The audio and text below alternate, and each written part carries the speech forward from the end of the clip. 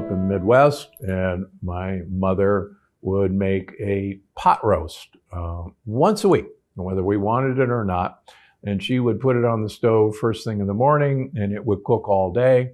And what started out as a very, very tough piece of meat with lots of gristle, by the time it went on our table at night, it was just soft and mushy. And so, unbeknownst to me, I was having a bone broth concoction at least once a week. She would also do the same thing with spare ribs. She would actually put them in a pot of sauerkraut and cook them all day. And by the end of the day, there was the spare rib, the pork meat, along with all the collagen and gristle, had fallen off the bones and had mixed in with the sauerkraut. To this day, I, I hate that dish because I had it once a week, whether I wanted it or not. But the point is, even as much as, you know, a generation ago, for me, this was a part of my normal cuisine. And that came, my mother's family was primarily uh, German, and that was traditional long term German cooking techniques. So there's a long history in, in bone broth.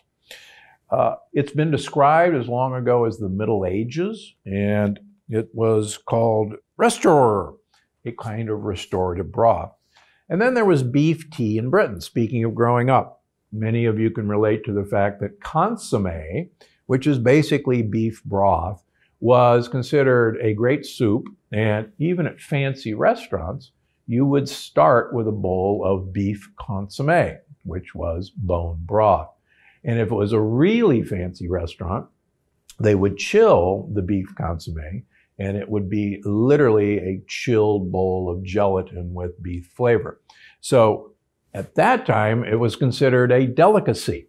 So, and I can remember when we'd go to a fancy restaurant, having a bowl of consomme was considered the ultimate in fine dining. Fine dining that the poor were having back in the Middle Ages. So amazing how things come around. So, first of all, let's talk about scientifically backed pros of drinking bone broth. Bone broth is a great source of some amino acids that do make collagen.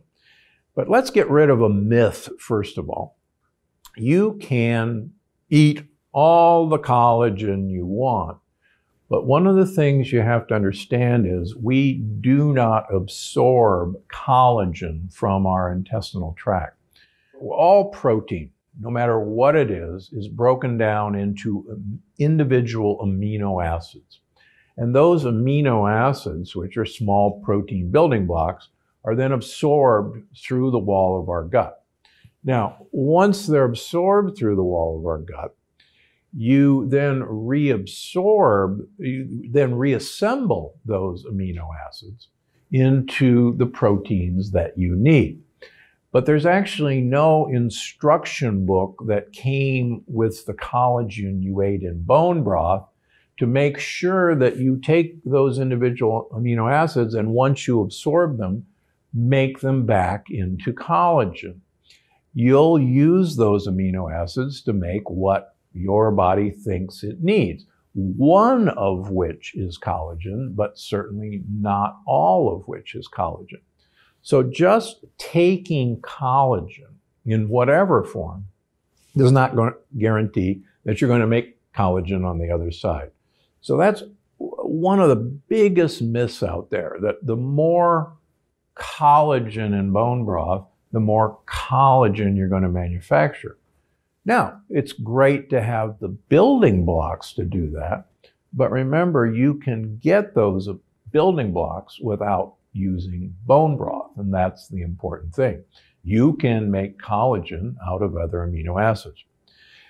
Now, bone broth in general contains a amino acid called glutamine. Now, glutamine is interesting because we do know that the intestinal cells, that one layer of cells that lines our gut, and that lining is the size of a tennis court inside of us. Those cells love glutamine. They actually use glutamine to grow and repair themselves, and that's scientifically proven. So, the fact that bone broth has glutamine is a very scientifically valid way of feeding gut cells. But I'm always reminded of a professor uh, from Louisiana State University, Russell Blaylock, who was a neurosurgeon. He's retired now, but he's written a number of books on what are called neuroexcitotoxins. And one of his pet subjects was glutamine becoming a neurotoxin in excess, turning into glutamate which is in fact a neurotoxin. And I was so impressed with his research when I first started doing the plant paradox that I urged people that if you were going to use glutamine as a supplement or glutamine containing foods like bone broth to help heal a leaky gut, that you should probably do this for a limited period of time. I think probably three months is a maximum period. Uh, I'm not going to put words in his mouth, but he would probably say less than that.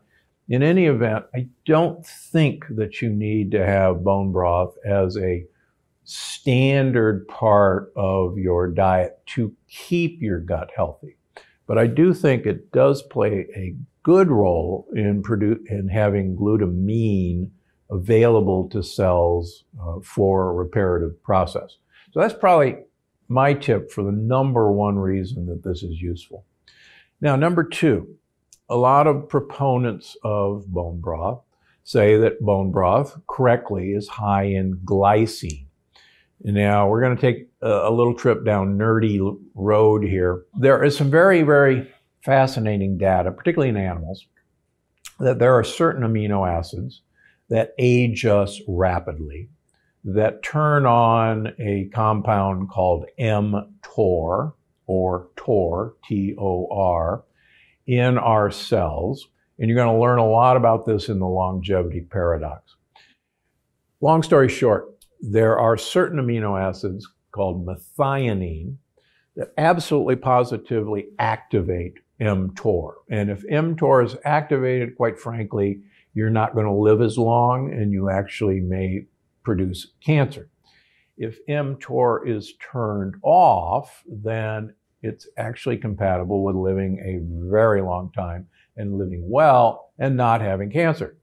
Okay, so what does that have to do with bone broth? Well, bone broth does not have a lot of methionine, which is a very, very, very common amino acid in animal protein.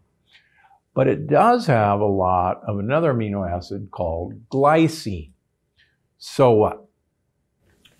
Experiments in pigs show that if you put pigs on a methionine restricted diet, they will live about twice as long as their littermates who eat a normal methionine diet. Same calories in both groups just by eliminating methionine. Well, that's pretty cool, except it's hard to have a methionine restricted diet, with the exception of vegans, because vegans actually, plant proteins have very little methionine. And you're going to hear that argument from me again and again and again in the longevity paradox. Back to glycine. You can take pigs, put them on a regular diet, and add glycine to their diet. And glycine appears to act as if the pigs were eating a methionine restricted diet. Ah. Now, because I'm such an incredible nerd, I take glycine tablets twice a day because I don't like to hedge my bets. So, but bone broth has quite a bit of glycine and not much methionine. So, of the animal protein products out there, it's probably a pretty interesting, safe bet. Uh, so those are the those are the pros of bone broth. So if you want to use it to feed your intestinal cells, the enterocytes, for a while, that's great. If you want to experiment with it as a longevity technique because of the glycine, that's okay. But it is animal protein. And as you'll see in the longevity par- paradox and as you learned in the plant paradox, in the end, animal protein ages us. I wish it didn't, but it does. And having said that, as you learned in the plant paradox, beef, lamb, and pork all have a sugar molecule called Neu5Ac, uh, sorry, Neu5Gc, that can promote heart disease and cancer in us. Chicken and fish don't have it. So, my personal feeling if you can find true pastured chicken, you're probably safer with chicken bone broth than any other thing. And in fact, back in the good old days, a stewing chicken was how we ate chicken. And we actually made chicken soup from stewed chicken because we got all of that collagen from the tough old bird. Okay, does this stuff go directly into your joints? Well, unfortunately, it doesn't go directly into your joints. Again, you get the building blocks. So it's to me a lot easier to consume things like hyaluronic acid as a supplement, a lot easier to consume um, chondroitin sulfate, uh, MSM, uh, acetyl L-glutamine temporarily to get the same effect. Uh, so you don't have to have bone broth. But if you're going to have bone broth, I would head towards chicken rather than beef, pork, or lamb uh, as your best choices. Okay, are there proven studies that bone broth, in fact, makes your joints better, makes your skin better? In fact, there's very few studies that have ever substantiated anything about this. In fact, there are some good studies that show that the collagen in bone broth is not a reliable precursor as a supplemental source of collagen. And this is published data. So, uh, unfortunately, it's just not the great panacea that people would like it to be. Now, having said that, and I get this from my patients and I get this on the internet, we have a recipe for bone broth in the Plant Paradox Cookbook. And it's really easy to do. Uh, so it's in the book, but what you do is you take four pounds of pasture raised animal bones, you take two tablespoons of apple cider vinegar, uh, put in some salt. Please use iodized sea salt. It's readily available now. Even Morton's makes it. Iodine is a critical component in your diet to make thyroid hormone please ditch the pink salt and ditch the plain sea salt and get iodine in your diet. I see a mini epidemic of hypothyroidism in this country. And getting some iodized sea salt in people's diets is miraculous in getting their thyroid back to normal. As an aside, if you're not going to do that, buy yourself some spirulina tablets. You can get it at Trader Joe's. It's organic, it's cheap. Take about four a day and you'll get plenty of iodine that way. Sorry for the aside.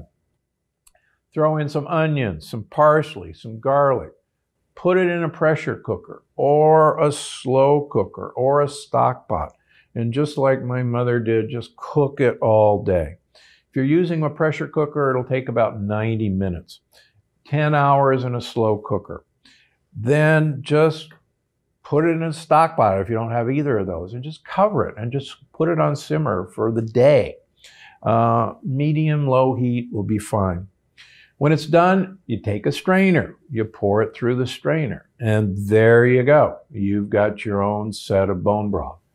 You can even, I think, put it in approved ice cube containers like silicone ice cube containers and then you've got your own little bouillon cubes, freeze it, and then you can use that as your stock when making a lot of my other recipes or your own favorite recipes.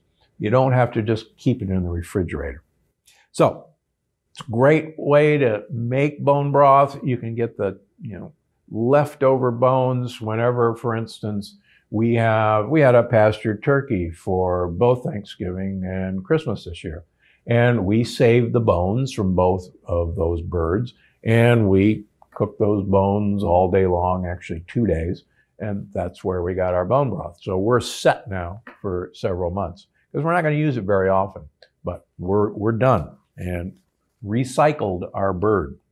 So that's my take on bone broth. It is not the miracle cure all of you want it to be, but it's a great source of glutamine.